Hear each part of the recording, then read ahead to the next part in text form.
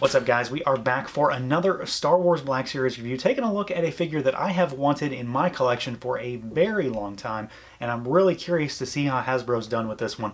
So we have got the long-awaited General Grievous up for review today. We've got him here in a bit of an oversized Black Series box just because he is a larger figure and because of that he is the official start of the deluxe line. So he gets a special designation this time around. So we've got him here in his box. You can see him there in the window. We've got some artwork down there in the corner. He is number D1 this time around and we've got that artwork on the back as well as a bit of a bio. So let's do it. Let's pull this guy out and take a look. And here he is out of the package, our General Grievous figure. And this is one that, you know, I've wanted for a really long time. It's one that has definitely been kind of at the top of my wants list for figures that you just know are coming eventually. He just didn't come soon enough and I'm not so sure he really lives up to my expectations, honestly. I think I've kind of overhyped this guy. He has some good, he definitely has some not so good, and he has some bad. Uh, it's not the worst figure by any means. I feel like they maybe had a miss here and there overall, but I still do think he looks pretty good, and we're going to kind of run through all of the normal stuff. We have to start by talking about this cape first so I can get it off of him, and then we can do articulation, just so it's easier to manipulate. So the, the cape in general, I think from a look perspective, I think very much works for General Grievous as a character. In this instance, I'm not so sure this cape really, really works all that well. And it mostly comes down to just, I mean, obviously, how it sits on him. It sits really funny. And this big front flap right here that crosses over him, it should not be that big. It should it should be able to be tucked under his armor because you never really see it like this all the time, and a lot of times you just see it draped over his shoulders. So this is just odd to begin with. I do like the two-tone colors. I like the dark gray and I like the red, and I love the fact that we have the spots for the lightsabers inside the cape. That alone is just fantastic. What I'm not so sure about is why it's not stitched at the bottom. I guess it's an inner cape, outer cape thing. It might just be something I've never noticed on him before if it's supposed to be that way. It doesn't necessarily take anything away from it, but it also seems kind of odd just based on the fact that I'm not sure it's supposed to be that way.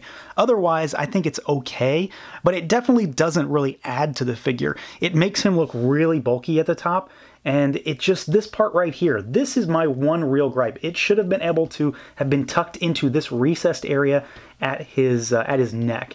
And it can't it really can't. You can maybe force it in there a little bit but the tolerance is, is just high. And it's also pretty thick too not to mention the fact that when you get to this part you've got two thick pieces of material draped over top of each other so, you know, it kind of works and you can get him posed decently with it. Maybe hide some of the bulkiness in how you pose him. But when he's standing straight up, I mean, it's just, it doesn't, doesn't do all that for me. So we're to, we're to pop it off and we'll talk about how he moves around. It thankfully comes, uh, you know, comes off and goes back on very, very easily. So you can really remove it just fine. As far as articulation goes, this guy is a mixed bag. And it all comes down to engineering for what he is. Now, obviously, this is not your standard Black Series figure by any means. This is a very different beast altogether, just because he is so wildly different in the fact that he is a droid. It's not like the Rio Durant figure where they just threw a couple extra arms on him. They had to really do something different because he has to, you know, detach and reattach those arms. So at the head, the neck moves up and down, and it then rotates a little bit as well. The head also moves up and down, and then bobbles side to side and rotates. There's a lot of movement up here at the neck and the head, so you've got a lot of like attitude up there, really. The arms go out. They do not rotate. Uh, they well, let me preface this by saying that when the arms are together, they do not rotate. They kind of wiggle back and forth, but you're not going to move them all the way around. They hinge and you can get them like about like that, about 90. You have to watch out for the actual hinges though, because a lot of swiveling goes on in this area here, and if that one of those arms is swiveled while it's torn apart, basically, it will not allow you to hinge. And then from there, that's really it. There is no swiveling at the wrist, and uh, yeah. So you can pop the arms apart. We're just going to pop them both apart right here, and we'll use one as an example. So one arm goes out, and then you can rotate that arm and then you've also got a what would be a bicep swivel, sort of. The arms, uh, they hinge better when they're they're loose. Not much though. The forearm swivels, and that's what you have to watch out for. I, I initially thought my figure was messed up, and I realized that one of the arms swivels at the forearm was just stuck, so it wasn't allowing me to actually hinge. It was this arm, and then there's still nothing at the uh, there's still nothing at the wrist, but that forearm swivel kind of helps if you want to add a little flair to the to the grip of this figure. So he has, you know, he has articulation, but there is just there's things in the way here. There's stuff that is not present on any other figure that they had to throw in simply because of the fact that he has the combining arms. If they didn't have that, if they just left him to be one figure that only had the two arms and they didn't give him the forearm feature, I feel like we'd have a lot more momentum and just dynamic movement here. But a lot of that's kind of lost, especially when he's in the two arm pose. So, what that leads me to believe is that the end result or the end goal for this figure was to be able to allow fans to have a four armed General Grievous because he's definitely more versatile that way. Uh, he does have a bit of a waist twist, bobble back and forth a little bit, but he's in this, you know, kind of fake rib cage thing, so it doesn't really do a whole lot. There's nothing below that either. His legs go out that far. They kick forward, I mean, really far. That's that's that's way too far. and then they go they go back as well. Uh, there's there's just a wiggle here, if, if what you could consider to be what they did for a thigh swivel. And then he's got uh, the double double joint knee there. Will sort of it's uh, about it, it's basically a double jointed knee as far as how, how far it goes. And then you've got the kind of the dog ankle kind of thing down here, and it's just a hinge up and down. And then you've got the ankle down here, which does swivel and it does hinge a little bit, but it doesn't do too much. Frankly, I have balance issues with this figure when it comes to how he stands, and it just comes down to the fact that there's a lot of stuff going on down here, and he's really, really spindly. So you've got these really tiny ankles, like the dog ankle kind of things, because he's kind of like one of those sort of a digitigrade type of uh, character. And you can get him to stand just fine. It just might take you a minute or two longer than usual to get him to stand up straight. So he does have articulation, and he has quite a bit of it. It's just at the end of the day, it's just very, very different and limiting in some ways, but also pretty freeing in, in others. It's just comes down to design on this guy. He is very different from any other figure we have ever gotten, even more different than the Battle Droid, despite the fact that that's very recent to us. This guy is very different from everything, so Hasbro kind of had to do what they could with the engineering to make him fit within this $30 price tag. Now, as far as the overall look and feel, I think for the most part this figure's pretty solid. I do have a gripe in terms of his size, which we'll talk about when we do a bit of a size comparison to a standard 6-inch figure, but I think for the most part he does look pretty good. I like his design, I like the fact that he's not he's not clean because he's certainly not supposed to be. You've got all of these little uh, you know, flecked paint pieces over here, so it shows that his legs have been hit and scarred in battle. He's got a bunch of dirt on the knee pads. He's got a bunch of dirt up on the breastplate there. He's not maybe as dirty as he could be, but it's it's a Hasbro figure, so I'm not going to fault it too much. Of course, he is a deluxe figure, so maybe I should, but I think a lot of the deluxe stuff for this guy comes into his engineering. I do like the uh, the back plates on him. I like the fact that everything's that bone color. I like that you can see some of the inner workings of the figure itself in the neck area, in the chest. Of course, I would have loved to have seen some organs though, because that's that's one of my favorite qualities of Grievous is that he's just kind of a bag of organs shoved inside of a droid frame.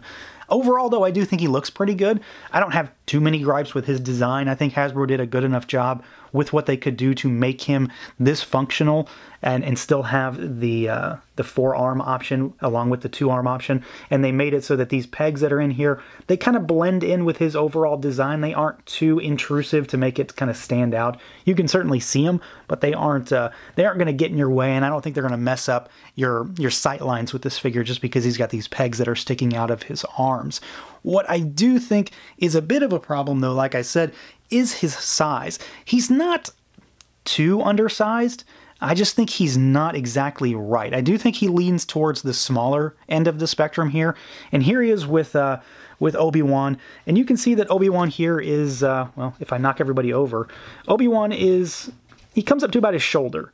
So they're pretty close, but it's only a head difference. And even when Grievous is shown as being like lurched over or hunched over, he's still really, really big. You know, it makes me think of that exact line when they first meet him in uh, episode 3 where Anakin says I thought he would be taller. And it's it's just one of those things where I think he should be a little beefier, maybe a little thicker in terms of some of the parts here, and then I think he should be maybe a half inch taller. Now, the last thing to talk about with the figure, though, is of course the head sculpt, and I think this is pretty solid. I, I, really don't have any complaints about the way his face looks or his head looks. I like all the line work in there. I like the fins that come off the sides of the head. You've got face printing on this guy, even though he's not, you know, a real person. We've got scarring there on the faceplate, you've got the lines that run down. You've got the, the little mouth lines at the bottom. And then, of course, you've got his nasty, uh, kind of charred pink uh, flesh under there with those yellow eyes. So I do think he looks pretty good. I don't really have any complaints here. I'm pretty happy with the way his head sculpt looks. Of course, it does probably lean towards the small side of the spectrum just because he's he's a little undersized, I do think. But I'm really happy with the way it turned out. I don't have any I don't have any real gripes from the neck up with this guy. Now, as far as accessories go here, we have a decent amount, and of course we have exactly what you think we would have for this particular figure, because honestly, if they didn't give us four lightsabers, this figure would have been an absolute disaster, despite the fact that it does already have issues. I mean, imagine a Grievous that didn't have four lightsabers. That would, that would just be insane. So we have got four lightsabers. Again, we've got two blue and we've got two green, and these lightsabers, I'm not entirely sure what the source is supposed to be for these, like where they come from. I don't know if it's been re-explained in the new canon where he gets his. So you've got two blue, and then you've got two green, and they fit decently enough into his hands. Uh, they're not they're not perfect by any means. Some of them fit better. The bigger ones fit better in his hands than the smaller ones. So you can see they're all unique. They all have uh, different grips, different handles, different designs. And in the old canon, there was a book that actually explained where these came from. They were from Jedi's Pablo-Jill, Roron Corobb, Eeth and Shaak Ti. There's a new book in the new canon that's supposed to explain lightsaber stuff, but I don't know if it goes into detail for Grievous, and I haven't read it, so I'm not really sure. Uh, and you know, and then even before then, he was supposedly got one of his lightsabers from Sifo-Dyas, but that was that was re rewritten at some point, so we don't know. I'm not really sure. I don't think any of these lightsabers have been used in this line before, and they aren't even lightsabers that I believe you see in the movie either, because in the movie, a lot of his sabers are stunt sabers that are used for Anakin and Obi-Wan as well. So again, here's all four. You've got two blue, two green, so they match with the film in terms of what he's supposed to have. I just don't know for sure what the what the source is for this or if Hasbro just got to have fun with saber design. And then the other accessory he has is the blaster rifle that you see him use in Revenge of the Sith. So his uh whatever number it is, Annihilator Blaster. I can't remember what it's called, but it's it's the name is the Annihilator, the one that Obi-Wan ultimately uses to kill him. Spoiler alert, I suppose. So overall, I do still like this figure with a few caveats. He's certainly not what I had hoped he would have been. And I think that's where my main frustration comes in, is that I really hoped that they could have nailed this figure, and they did a decent job, but with other figures recently, you know that they probably could have done better. I do think he's slightly undersized, the cape is kind of a mess, and then he does have some weird articulation, which aren't necessarily problems in so much as design limitations because of what they had to do to make those arms work. So at the end of the day, I would have rather have had four arms that can be used individually and limited two arm articulation than to only have two arms, because that's just not Grievous to me. So they gave us his defining characteristic, and I can appreciate that. I do like the fact that we got the four unique lightsabers. They very much help complete his look. And in general, he's still a fun figure. I just don't think he lived up to my expectations. And again, that could have been just because I really overhyped this figure for a very long time because I have really been looking forward to it. So that's going to do it for this look at the Star Wars Black Series General Grievous figure. Let me know what you guys think. Feel free to like, comment, subscribe, and share. And until next time.